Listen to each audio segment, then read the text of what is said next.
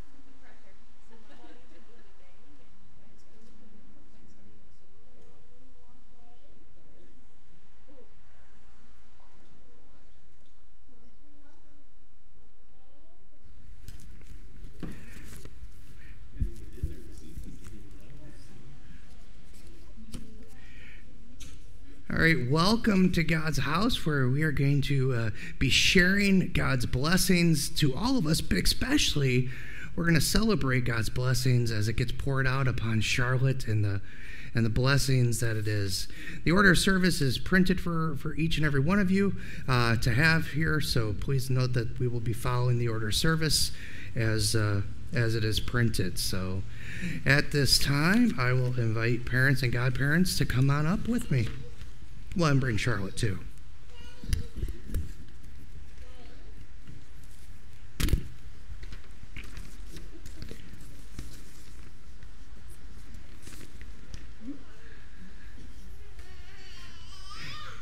And so we are going to begin in the same way in which Charlotte is going to be baptized in the name of the Father, the Son, and the Holy Spirit.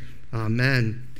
Dear beloved, Christ our Lord says in the last chapter of Matthew, All authority in heaven and earth has been given to me. Therefore, go and make disciples of all nations, baptizing them in the name of the Father, the Son, and the Holy Spirit. In the last chapter of Mark, our Lord promises whoever believes and is baptized will be saved. And the Apostle Peter has written, Baptism now saves you. The Word of God also teaches that we are all conceived and born sinful and are under the power of the devil until Christ claims us as his own. We'd be lost forever unless delivered from sin, death, and everlasting condemnation. But the Father of all mercy and grace, has sent his Son Jesus Christ to atone for the sin of the whole world, that whoever believes in him should not perish, but have eternal life. As parents, I ask you your child's full name.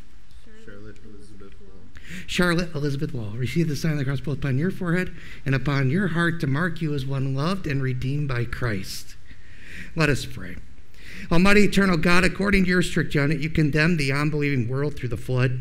Yet according to your great mercy, you preserved believing Noah, his family, eight souls in all. You drowned hard hearted Pharaoh and all his hosts in the Red Sea. Yet you led your people Israel through the water and dry ground, foreshadowing this washing of your holy baptism. Through the baptism of the Jordan of your beloved Son, our Lord Jesus Christ, you sanctified and instituted all waters to be a blessed flood, lavish washing away of sin.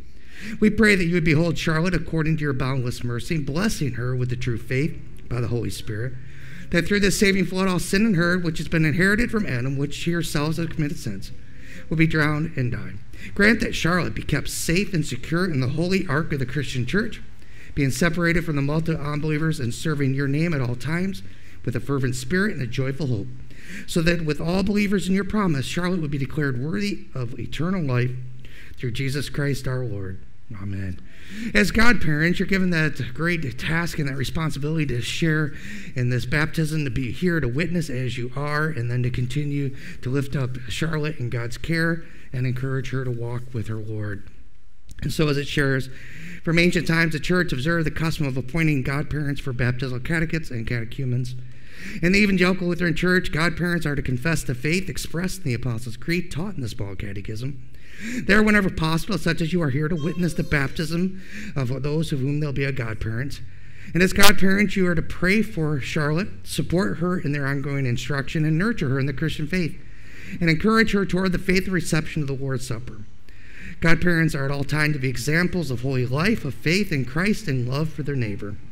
Is it your intention to serve Charlotte as her godparent in the Christian faith? If so, then answer yes, with the help of God. Yes, with the help of God. God enable you both to will and do this faithful, loving work, and with His grace fulfill what we are unable to do. Amen. We hear the Holy Gospel, according to St. Mark, they brought young children to Jesus that he might touch them, but the disciples rebuked those who brought them. When Jesus saw it, he was greatly displeased and said to them, Let the little children come to me, do not forbid them. For of such is the kingdom of God. Surely I say to you that whoever does not receive the kingdom of God like a little child will by no means enter it. And he, being Jesus, took up those little ones in his arms, put his hands on them, and blessed them. This is the word of the Lord. Thanks be to God. As we turn to our Heavenly Father for the gift of the blessing, we turn together as a faith family now, praying the Lord's Prayer. Our Father, who art in heaven, hallowed be thy name. Thy kingdom come, thy will be done, on earth as it is in heaven. Give us this day our daily bread, and forgive us our trespasses, as we forgive those who trespass against us. And lead us not into temptation, but deliver us from evil. For thine is the kingdom, and the power, and the glory forever and ever. Amen. The Lord preserve your going in, your coming out from this time forth, and even forevermore. Amen. Godparents and parents will be speaking on behalf of Charlotte, and there what my here it is again. All right, we'll be speaking on behalf of Charlotte, but as everybody here, I invite you to respond as well.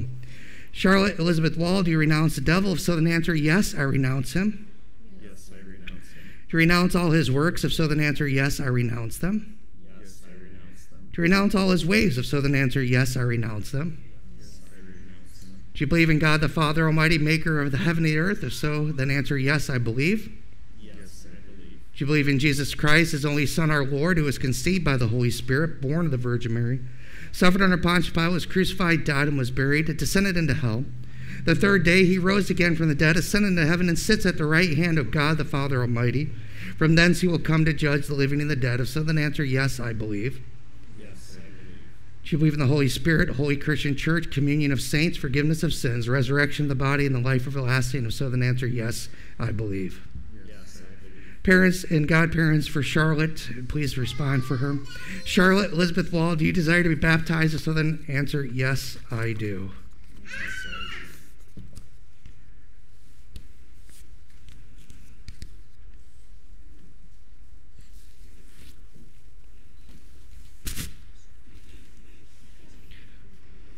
Charlotte Elizabeth Wahl, I baptize you in the name of the Father, and of the Son, and of the Holy Spirit. Amen. The Almighty God and Father, Lord Jesus Christ, has given you the new birth of the Spirit, and has forgiven you all of your sins and strengthened you with his grace to life everlasting. Amen. This is your little white garment to show that you've been clothed with the robe of Christ's righteousness that covers all your sin.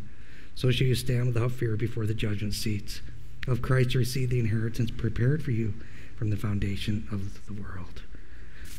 Amen.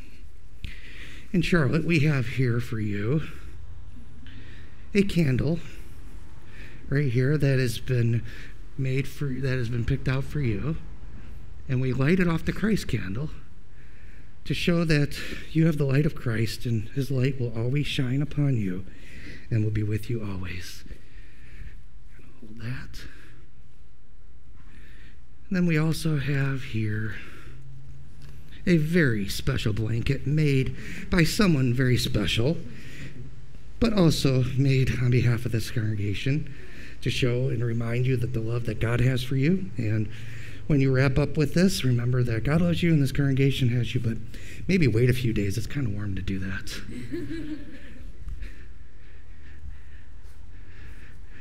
and then we have these one's for you and the one for your godparents over there. And that's to remind them of the promise that uh, they had of their love for you, but also love to encourage you in God's word and God's ways. give you those. I'm going to have you go ahead and blow out the candle at this time, just because. And I invite you guys to come up here with me.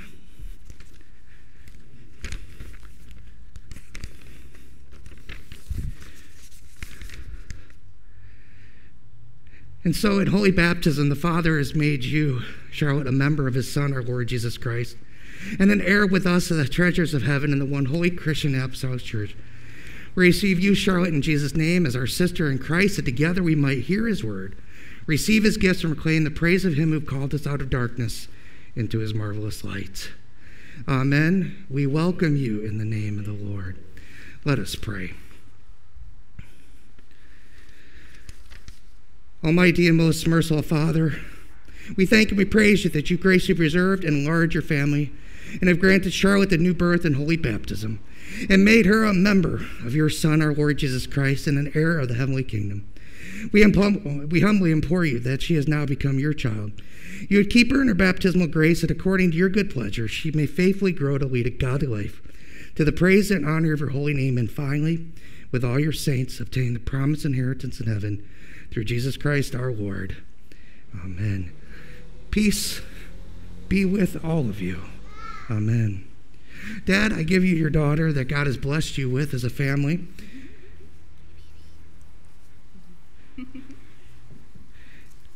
And as God has blessed you with a family, God has blessed you with the opportunity to raise your children to, with the care that you have for them, but also to encourage you as you raise your children to remind them and continuously place before them the care that God has for them and that God loves them. Because that's really when we come to this baptism, it's really all about what God does today and the continued knowledge and growing up of knowing that. May God again bless your family as He continues to give you this great joy for your family. And godparents, godparents have a joy of not only being godparents, but they get the medal in one part of the upbringing of the child's life, their godchild's life. And that's your vows as godparents encourage her with her walk of the Lord and Savior. So, as that encouragement, you can get to encourage the parents as well in their walk. And so, that's the one area you get the medal because they made you the godparents. So, that's it. So, all right. As you guys return back to seats, we'll, we'll finish with the benediction for all of you.